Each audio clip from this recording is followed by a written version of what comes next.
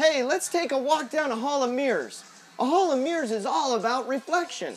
The principle of reflection says that the angle at which light first hits the mirrored surface is equal to the angle at which the light bounces off the mirrored surface.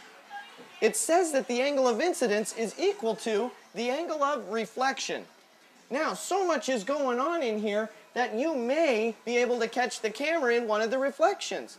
This is because we can't control the different angles at which the light hits the mirrors. So you can see lots of different things. That is the principle around reflection and what makes the Hall of Mirrors so much fun.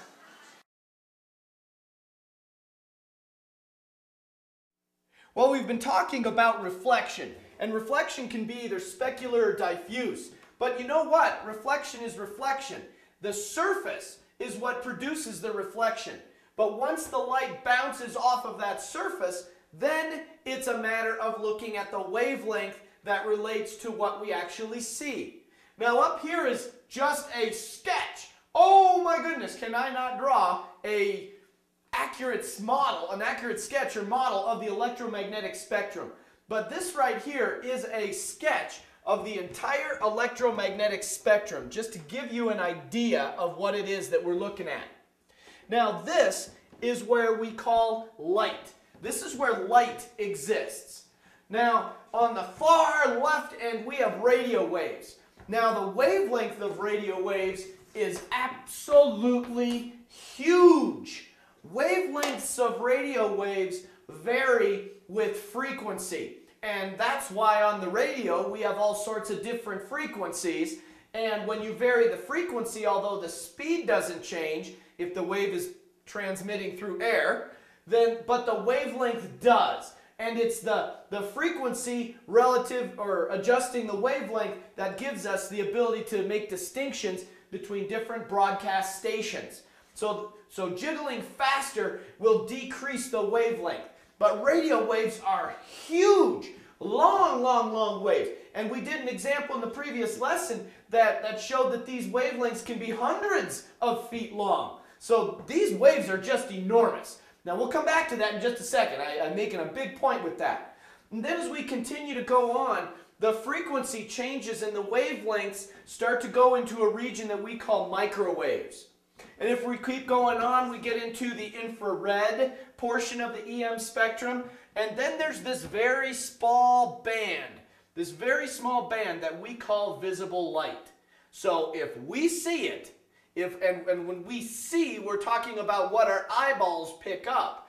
Our eyeballs are only sensitive to frequencies of light that are in the visible spectrum. And the visible spectrum is incredibly small compared to the entire electromagnetic spectrum. But on the other side of the visible spectrum comes the ultraviolet.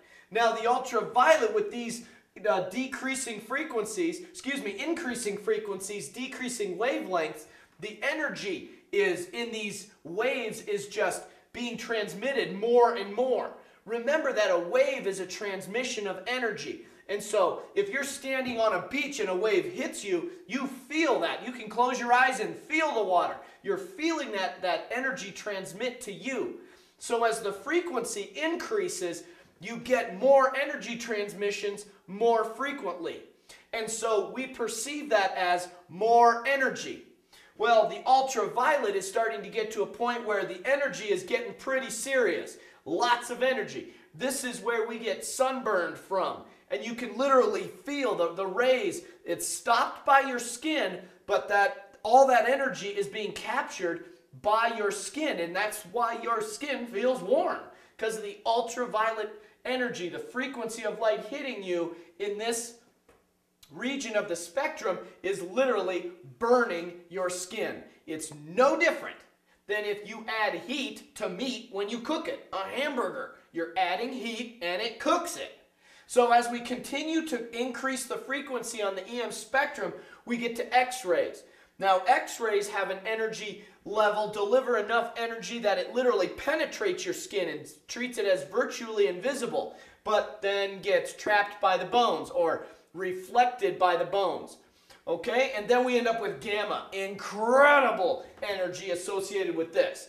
This Gamma rays, they mow right through us. In fact, they're very damaging to our cellular structure. So these are the pieces of the electromagnetic spectrum. Huge, huge wavelengths on one end, very, very, very small wavelengths on the other. And here's the energy. The energy in radio waves, very, very weak. There's not, I mean, if you stood in a, in a, on a beach and just let a wave hit you and then, you know, 300 feet out there, another wave is coming in and then it hits you, you can perceive that as, okay, that's not bad. I can handle that type of energy. All right, so radio waves are very big, very big. And these radio waves can be received can be received by very, very large antennas. If radio waves hit this board, although this board is very bumpy to the visible spectrum, it is smooth as glass to a radio wave because the wavelengths are so big. Now, if you look at radio antennas, the big ones, like for astronomical telescope type satellites, the big wire mesh ones, to a radio wave, those wire meshes are smooth as glass because the wavelength of light is so big. But to visible light spectrum, if we were to throw visible light at a radio antenna, those big ones used for astronomy, it would just mow right on through, mow right on through all the holes and gaps.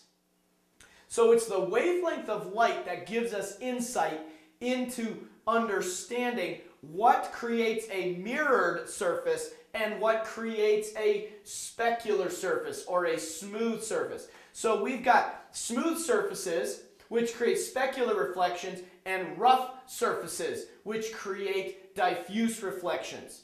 So diffuse reflections are considered bumpy. To the visible spectrum, this board is very bumpy. To the radio portion of the spectrum, this board is smooth as glass. So to distinguish between specular and diffuse reflections, we do have to pay attention not only to the surface, but the surface depends on what kind of energy, or in this case, what kind of light hits it. And when we talk about light, we're talking about the visible spectrum.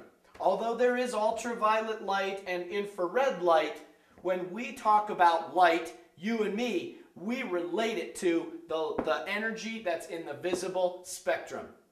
Well, I have a very interesting demonstration back at the wave pool to kind of make a little bit more sense of this from a visual perspective, a more visual perspective. All right, to the wave pool.